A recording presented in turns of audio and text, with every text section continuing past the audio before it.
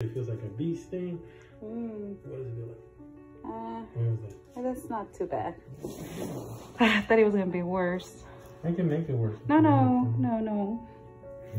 It's a little sting. I mean, I have a bunch of tattoos. Tattoos are probably worse than that. Oh, yeah. Oh, cool. This was very scary.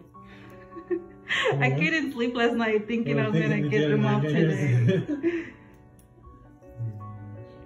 it's funny how the mind is just uh It's very powerful. yes. You can make things a lot worse than are.